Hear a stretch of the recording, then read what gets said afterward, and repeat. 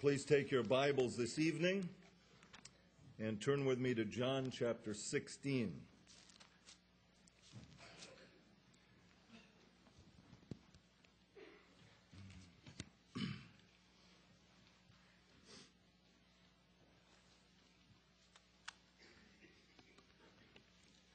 And I'll read verses 25 through 33 of John 16.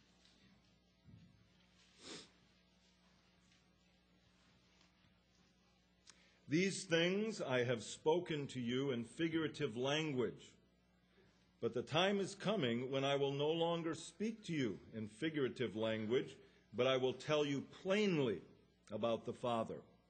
In that day you will ask in my name, and I do not say to you that I shall pray the Father for you, for the Father himself loves you, because you have loved me and have believed that I came forth from God. I came forth from the Father and have come into the world. Again, I leave the world and go to the Father. His disciples said to him, See, now you are speaking plainly and using no figure of speech. Now we are sure that you know all things and have no need that anyone should question you. By this we believe that you came forth from God. Jesus answered them, do you now believe? Indeed, the hour is coming, yes, has now come, that you will be scattered, each to his own, and will leave me alone. And yet I am not alone, because the Father is with me. These things I have spoken to you, that in me you may have peace. In the world you will have tribulation, but be of good cheer. I have overcome the world. Amen. Now let's once again look to God and ask for his help as we come to the ministry of the word tonight.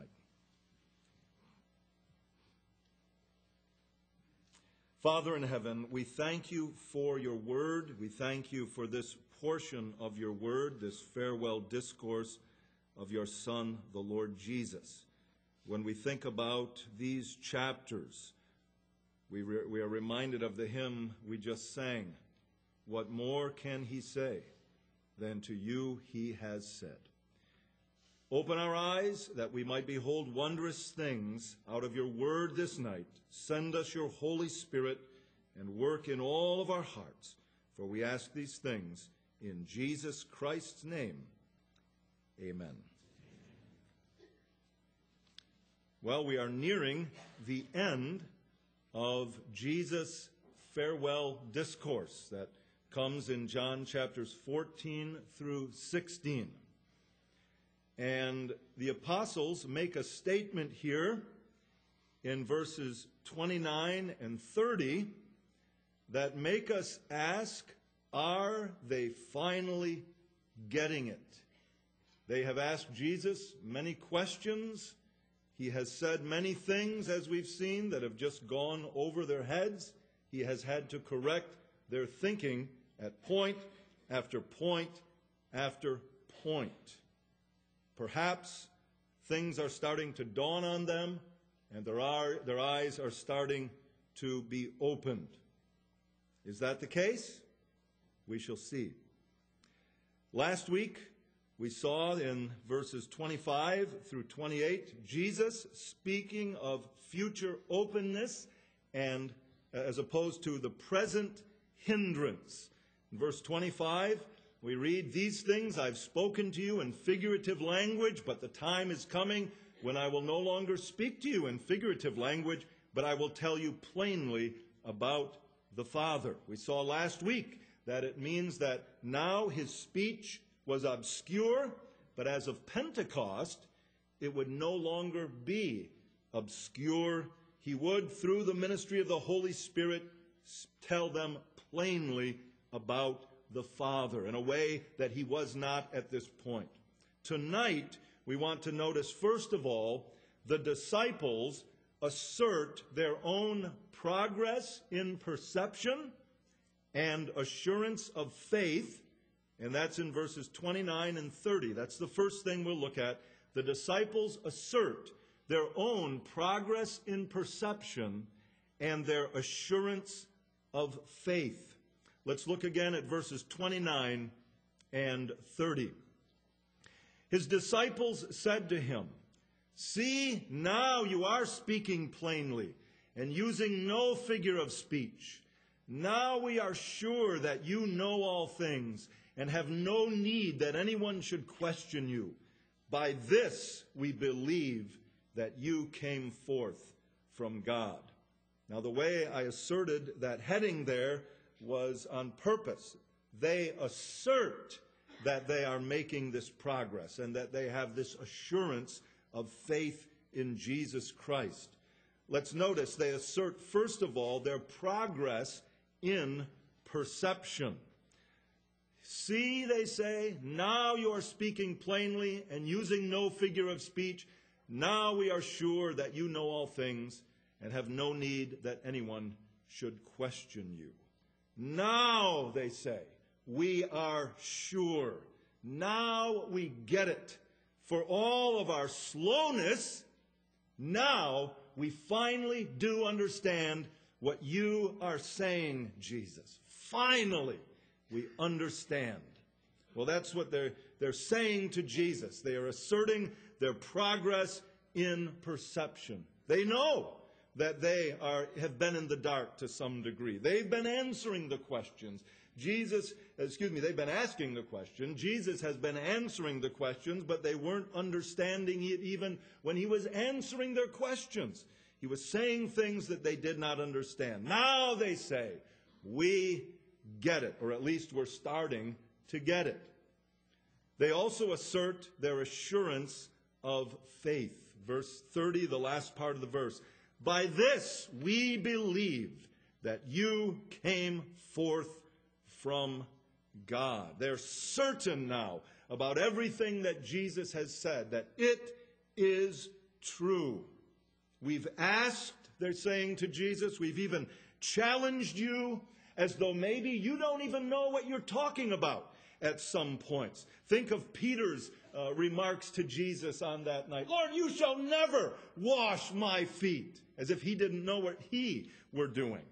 Thomas asking him questions. Philip asking him questions. Judas questioning him. Judas, not Iscariot, we're told in the upper room, this farewell discourse here. Each one of them asked Jesus these basic elementary questions, almost as if, Jesus, how can you be saying this? But now they're saying, now, Jesus, we see that you know exactly what you are talking about. In fact, you even tell us what we want to know without our asking. Back in verse 19, they were having their private discussion. What does he mean by this? And Jesus said, Are you inquiring among yourselves? What do I mean by these things? So they're saying, Now we get it. Now we're confident that you know all things. Well, what was the apostles' motive in telling Jesus this? Of course, the one possibility is that they really were getting it, that they really did now understand. It's possible that they sensed that Jesus was somewhat frustrated in his dealings with them, just as we see throughout the course of his earthly ministry when they said foolish things, they asked foolish questions, they didn't understand his statements that seemed to us uh, very, very clear and obvious. We have a different perspective than they did. But th- perhaps they frust- sensed that Jesus was frustrated. Perhaps uh, they sensed that maybe he was about to give up on them, as if there were no hope for them, that they would never understand the things that he was saying. So that he was kind of like a teacher in a classroom who's trying to get this point across or this lesson across to her students.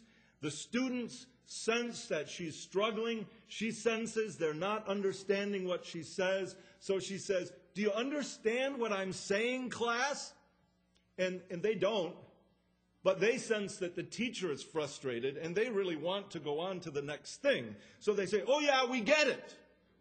In a sense, they feel her pain in her trying to get these things across. I don't know that that's what was going on in their minds, but perhaps that's what it was. So the, the disciples assert their own progress in perception. We're starting to understand and their assurance of faith. We really know that you know all things. In the second place, Jesus responds. That's verses 31 and 32. Let's read them again. Jesus answered them, Do you now believe? Indeed, the hour is coming, yes, has now come, that you will be scattered, each to his own, and will leave me alone. And yet I am not alone, because the Father is with me. Jesus responds, and in his response, we want to notice a couple of things. First of all, we want to notice that he challenges their assertion. He challenges their assertion. He challenges, first of all, that they really have attained to this new level of understanding. And that's in verse 31. Do you now believe? Because it could be read this way Do you now believe? As if he's very excited and thankful that finally he's gotten his point across to them. But I don't think it's to be read that way. I think it's to be read Do you now believe? Do you really believe? Do you really understand? Do you now believe? He challenges their assertion, first of all, that they really have attained this new level of understanding. Secondly, he challenges their assertion that their faith is so strong. Verse 32, the first part of the verse. He says, Indeed, the hour is coming, yes, has now come, that you, you men who really, really believe, who really are strong in the faith, the hour is coming, yes, has now come, the hour of his death. Remember, he says, My hour has come, back in chapter 12. The hour has now come that you will be scattered, each to his own, and will leave me alone. That's why I say Jesus challenges their assertion here. He challenges that they really do understand. He challenges them, their, their assertion that their faith is so strong. The point he's making, in a sense, when he says, Well, you say you have strong faith, but here is what's going to happen shortly. He's making the point of Proverbs chapter 24 and verse 10. I'll just read it to you. If you faint in the day of adversity, your strength is small. Here was the day of adversity.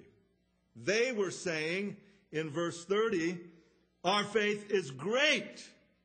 Now we know. Now we have no doubt. Our faith is strong. Jesus is saying, in offense, that's what you say. That's what you think. But if you faint in the day of adversity, your faith is in fact small. He says, The hour is coming that you will be scattered, each to his own, and will leave me alone. One writer that I read, he's a good writer, a preacher from the 19th century. He wrote this about Jesus' words here. He says, These words are not to be taken as implying any doubt as to the reality of their faith. In other words, he's taking a different interpretation from what I'm giving you.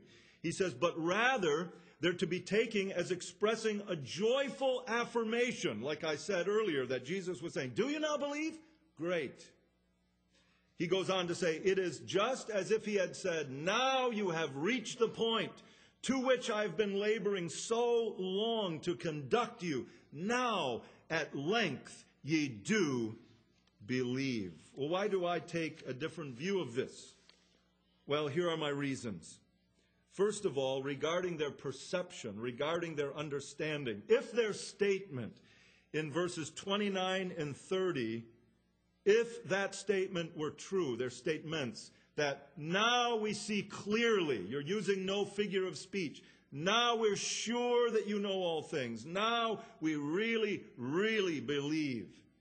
If that statement is true, then one of two things must have occurred between Jesus' words in verse 25 and the disciples' words in verse 29.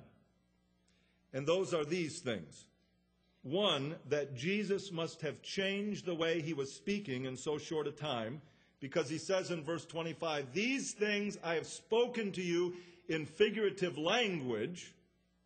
So either he changed the way he was speaking, or, or, and he said he would not change that until what? Till Pentecost. Or Pentecost has come. Because Jesus said back there in verse 25, These things I have spoken to you in figurative language, but the time is coming when I will no longer speak to you in figurative language, but I will tell you plainly about the Father. And we've seen that he was referring to Pentecost and the coming of the Holy Spirit. That has not happened. So the, the, apostles were making an overstatement about their understanding and about their faith. Secondly, regarding their faith and it being so strong, Jesus, when he says, Do you now believe? And then he tells them what's going to happen, and in a sense says, Your faith is small because you're going to all run away. You're going to tuck your tails and run at the crucial hour of testing. He is not saying that they have no faith. He's not questioning the existence of faith in their hearts. That's not what he's doing. He has affirmed that they believe in John chapter 13 and verse 10. And in John chapter 15, verse 3, he said to them, You men are clean. That is, you've had the washing of regeneration. You have been born again. You are Christians. He said, You are clean.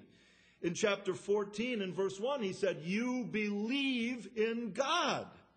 In verse 27 of chapter 16, just a couple of verses before this, Jesus says, The Father himself loves you because you have loved me and have believed that I came forth from God. He's not questioning the existence of their faith. All he's doing is exposing the weakness of their faith. That's what he's doing. He's saying, yes, you may have faith, but your faith is very weak. You're saying our faith is strong. It's similar to what went on with Peter. Peter would follow him to the death. He would never deny him. He, he did deny him. He wouldn't follow him to the death. Does that mean Peter didn't really love him at all? No. He was weak. He sinned, and his faith and his love were not what he thought they were. Jesus is exposing the weakness of their faith. Here's what you think it is, but here is where it really is. You are all going to leave me and flee. Let's turn back briefly to Mark chapter 14 and verse 43 and read through verse 50 of Mark chapter 14.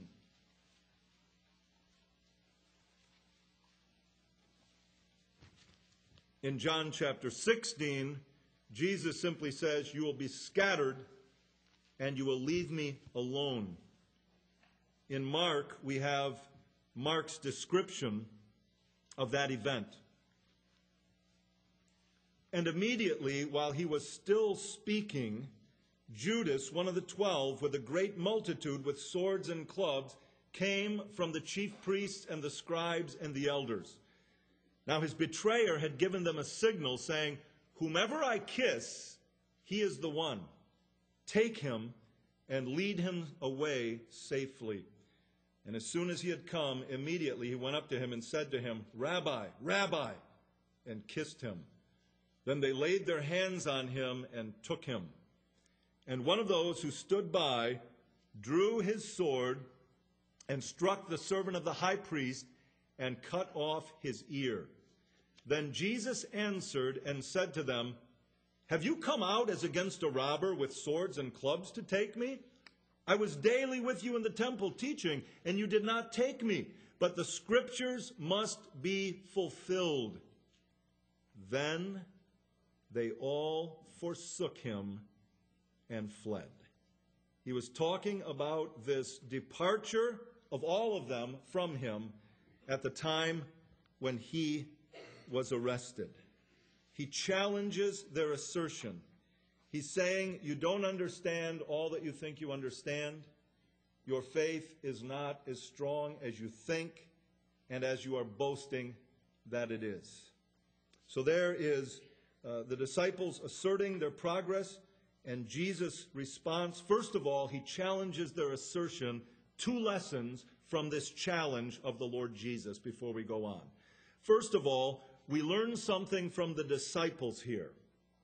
We learn something from the disciples boasting about how much they understand, boasting about how much they believe in Jesus. Those are good things. It's good to understand the truth. It's good to believe in Jesus. But they were boasting about it, and we should learn from the disciples let us beware of thinking too highly of ourselves. A simple lesson, but a very important lesson for God's people. Listen to J.C. Ryle's comments on these words. He says, Let us mark these things and learn wisdom. The true secret of spiritual strength is self distrust and deep humility. When I am weak, said a great Christian, then I am strong. None of us, perhaps, have the least idea how much we might fall if placed under the influence of strong temptation. Happy is he who never forgets the words, Let him that thinks he stands take heed, lest he fall. And remembering our Lord's disciples, praise daily, Hold thou me up, and then I shall be safe. Let us beware of thinking too highly of ourselves. Perhaps there are few parts of the Bible that I have thought of more frequently and mentioned more frequently in my sermons and in my conversations with people in my 30 plus years as a Christian and my 20 years as a pastor as the instance of Peter asserting, I will never deny you, Lord. Even if everybody else does, I would never, ever do it. I have frequently said, especially to relatively young professing Christians, and may I add, relatively young and careless professing Christians, I am 50 years old, or something like that. So I've only been 50 for a little while. I'm 50 years old. I have been a Christian for over 30 years. I have a track record as a faithful Christian. I don't say that to boast. I have a track record as a faithful Christian to the point that I have been made a pastor in a Christian church. And now I can say two Christian churches. Churches in which the people of God care about who it is that is their pastor and use a biblical standard to judge who should be in the Christian ministry. And then I say, and I would not allow myself the kind of liberty that you are willing to take for yourself in this area or that area of the Christian life. Why, if you are willing, why are you so willing to take such liberties? And why are you so angered by people who tell you you ought to be careful? Why?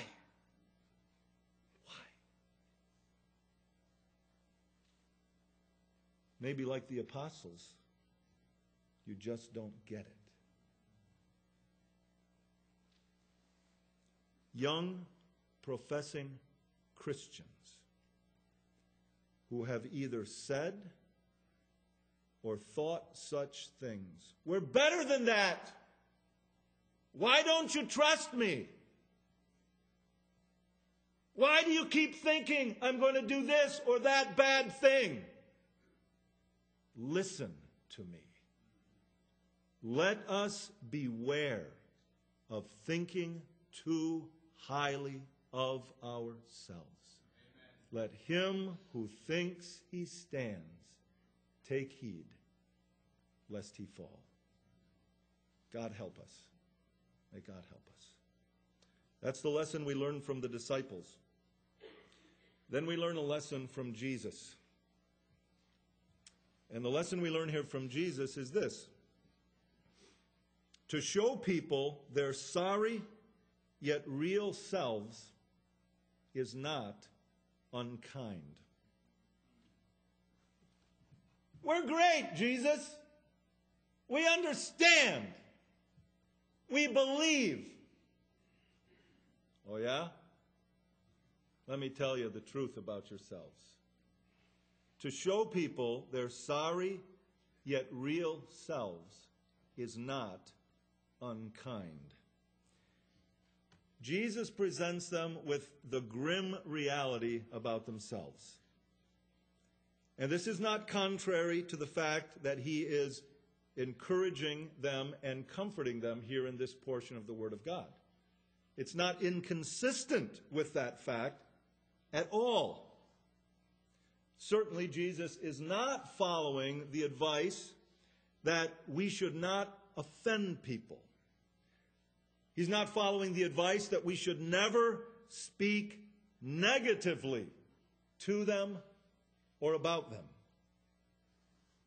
That's not, that's not what he does, is it? That's the common thinking nowadays. You don't offend people. You build them up. You encourage them. I even read early on in my Christian ministry something uh, to this effect that, well, you don't ever give someone a rebuke unless you sandwich it with encouragement. There's got to be encouragement on this side and encouragement on that side. Then and only then can you slip a reproof in the middle. Or else some other preacher gave a ratio. There would be, should be so much encouragement to so much reproof. Here Jesus is challenging them, telling them what they're really like. And notice, this is not his first challenge to them. This way of dealing with his disciples is really quite characteristic of Jesus, isn't it? It Should go throughout his recorded ministry.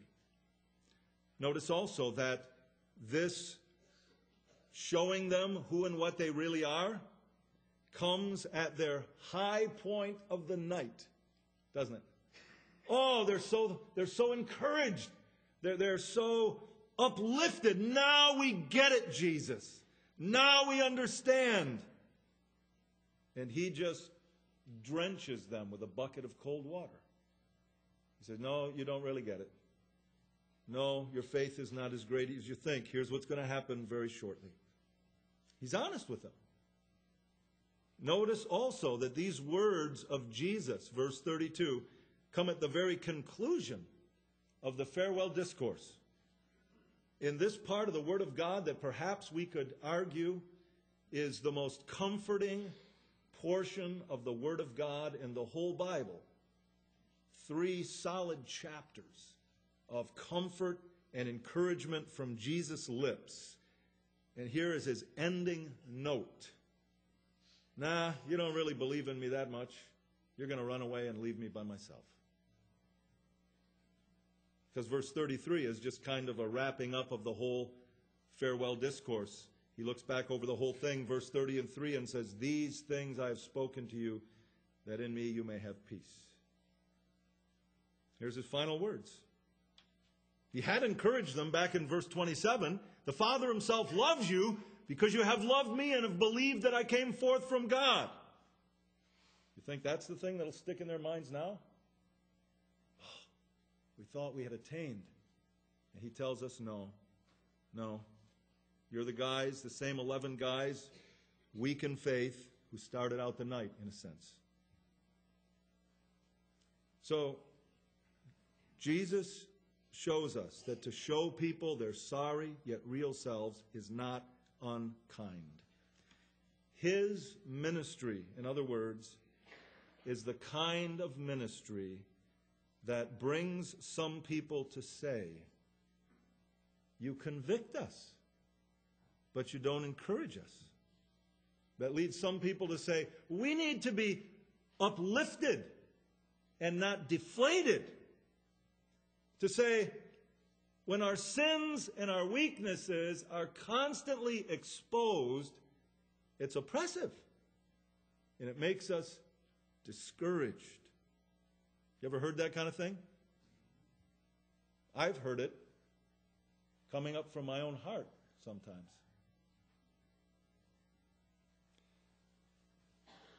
If that is your reaction to a ministry that exposes your ugliness to you, let me just say a couple of things.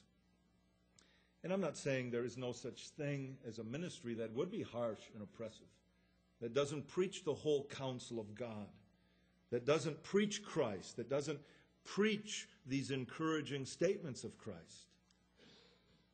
But people are not asking necessarily for a full orbed biblical ministry when they say those kinds of things. They're saying, don't make me feel bad. So here are the two things I say. First, face the fact that if that's the way you think, whenever a preacher says something that brings you under conviction, or that reproves you, or that crosses you, or makes you feel bad about yourself in any way, face the fact that you are a part of this whining generation in which we live. I'm part of it, I confess. I am. That's the sad thing. Not that someone would want to say something that might offend me. And the second thing is this if that's the way you think, when you hear things that reprove you, that make your conscience smart, but it comes from the Word of God, then confess that. Confess that as sin. Repent of it, repudiate it, turn away from it, and embrace Jesus Christ, even when he hurts you. Because one thing I always end up saying to myself when I read Jesus doing these kinds of things, I think he was so good at exposing sin, calling it what it was, reproving it, and bringing people under conviction for it. How can I even dare to go into a pulpit? Because I can't do that the way he could. He was very good at it and very faithful at it. And he often hurts us because we need to be hurt. We need to be hurt by the Word of God. We need to be humbled. We need to be broken. We need to realize our weakness and our sinfulness. Let me ask this question of unbelievers here tonight. How many of you, unbelievers, how many of you here tonight think that maybe the main reason you keep yourself at arm's length from Jesus Christ and from His church is this you don't like it when your sins are pointed out. Or maybe I should say it this way you hate it when your sins are pointed out. And when you're told you really need to deal with them. Might that be the case with some unbelievers here tonight? If that's the case, then it's that that's the sad thing. Not that a preacher would want to stand up here and talk about it. But if that is the case, let me urge you to do what I said just a moment ago. Confess that as sin, turn from it, and lay hold of Jesus Christ. Because the Bible says that even with sinners such as you, Jesus Christ will receive you. And even with sinners who are impatient with their sins being addressed, he is very patient with them. And he will be patient with you, and he will continue to bear with you, and to work with you, and to be merciful even with you. But you must turn from your sins and trust in him. And I urge you to do that this very night. So, as we consider here Jesus' response to the disciples' assertion of their progress and their faith, first, he challenges their assertion. Then, secondly and finally, he affirms that the Father is with him. That's in the last part of verse 32. We read there that he tells them, You're going to leave me all alone. You're going to be scattered, each to his own. And then he says, And yet, I am not alone because the Father is with me. He affirms that the Father is with him. This reminds me of a statement of the Apostle Paul. If you'd just turn there briefly, 2 Timothy chapter 4. 2 Timothy chapter 4 verses 16 and 17.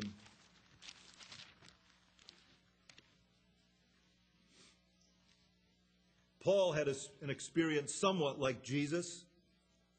We can't put it on a par with what Jesus went through on that night when he was deserted and fled in terms of all that that was a part of. But listen to Paul's words here 2 Timothy 4 16 and 17. He says, At my first defense, and this is when he was a prisoner in Rome, no one stood with me, but all forsook me. May it not be charged against them. But the Lord stood with me and strengthened me, so that the message might be preached fully through me, and that all the Gentiles might hear. And I was delivered out of the mouth of the lion. No one stood with me, none of his friends, none of his Christian brethren from various parts of Europe and Asia, wherever they were coming from. None of them stood with him, but the Lord stood with me and strengthened me. And likewise, Jesus says, You all will leave me alone, and yet I am not alone, because the Father is with me. This thought, this reality, that even after the apostles all left him, that God the Father would be with him, this thought strengthened Jesus.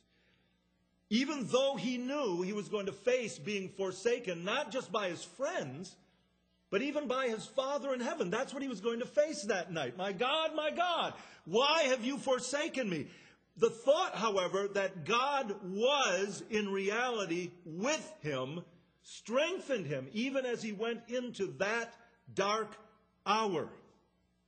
He knew, I will have no friends with me. He knew, even my heavenly Father himself will forsake me. That is, he will withdraw all sense of his presence, of his help, and of his comfort. It won't be there, but I know, he could say, I know he is with me. Remember, Christian, that God is with you. He is with you at all times. Just as he was with Jesus on that night, he is with you at all times. Remember how Jesus said in this farewell discourse that there are ways in which the Father deals with you in a way similar to the way he dealt with him. Just look back at chapter 15, verses 9 and 10. He says, As the Father loved me, I also have loved you. Abide in my love. If you keep my commandments, you will abide in my love, just as I have kept my Father's commandments and abide in his love. I kept his commandments, I abide in his love. You keep my commandments, you will abide in my love. You will abide in the Father's love. God deals with us in a way similar to the way he dealt with Jesus. And so, if he was with Jesus, we know he will be with us. We know he will be with us even when we go through very difficult trials. Imagine that you're in a situation Let's say you have been sinned against by your spouse in a serious way. Your spouse ends up divorcing you unjustly. Your family sides not with you, but against you. They see it his way or they see it her way, not your way. When it's, they don't see it the true way, they side against you. The brethren in the church don't fully understand the situation. They misjudge the situation and they end up holding you to be in sin in the matter. Now, in a sense, the whole world is against you. Your friends are against you. Your family are against you. Your brethren are against you. You are left all alone, as Jesus was. And yet, if you're a Christian, if you're God's child, what Jesus says about himself, you can say about yourself. Yet I am not alone, because the Father is always with me. Those words will always be true about you, Christian. They will always be true. Always. We sang in one of the hymns earlier Every human tie may perish. Friend to friend unfaithful prove. Mothers cease their own to cherish. Heaven and earth at last removed. Those things could happen. It would seem like the heavens and the earth are being removed. One day they will be. But, the hymn concludes, but no changes can attend Jehovah's love. It will always be the same. He will always love you. He will always be with you. We sing in another hymn in our hymnal, though friends should all fail us and foes all unite. Even if all your friends failed you, even if all your foes suddenly got angry and came against you as one man, God is still with you. He's still with you. That's exactly what happened to Jesus, wasn't it? His friends all failed him. His foes all united. The Gentiles, the Jews, the powers of darkness, they all united against him on that night. And yet he could say, I am not alone because the Father is with me. He knew that God was still with him. What I described a few minutes ago in that case with the family siding against you and the church even not seeing it right, siding against you, that would be a pretty severe trial, wouldn't it? Most of us have never gone through such a thing, and we never will go through such a thing. None of us will ever even approach enduring all that Jesus Christ endured for us to deliver us from our sins.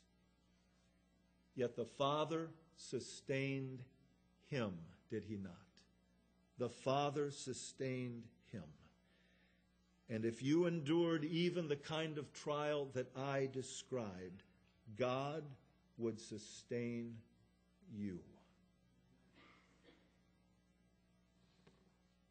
If God's presence can, assist, can sustain us even then in such a trial as that, can it sustain us in every other trial? Every lesser trial? Can't it? I ask you, is God, Christian, man, woman, young person, is God who has been with you throughout all the days of your Christian life, is God going to desert you now? Is he going to desert you in the most difficult thing you ever face? Is he ever, ever, ever going to desert you? He is not. He is not. Let me read again from one of the hymns we sang. Even down to old age, all my people shall prove my sovereign, eternal, unchangeable love. And when hoary hairs shall their temples adorn, like lambs they shall still in my bosom be borne. The soul that on Jesus hath leaned for repose, I will not, I will not desert to his foes. That soul, though all hell should endeavor to shake, I'll never, no, never, no, never forsake. And I just want to close tonight by reading from the end of Romans chapter 8. Romans 8, verses 31 through 39.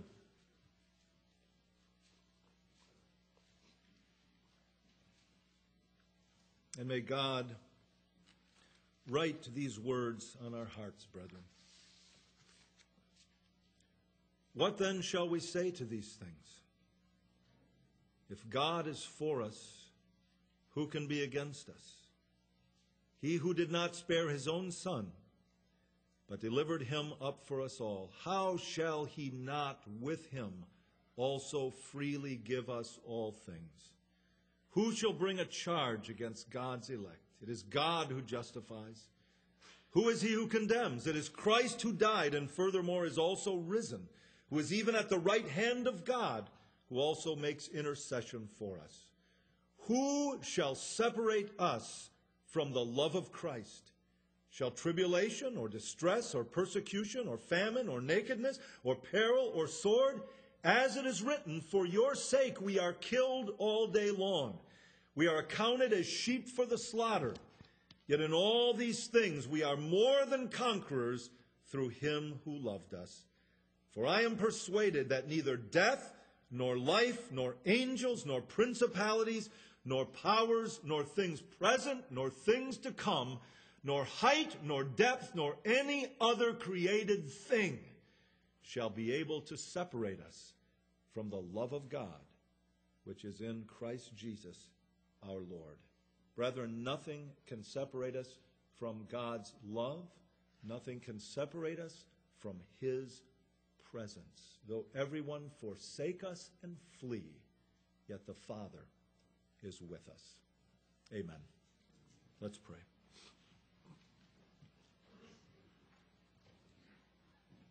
Father in heaven, we thank you for your words. We thank you that when we go through deep waters and when we go through fiery trials, you are there with us. You are holding our hand. You are carrying us in your bosom like lambs.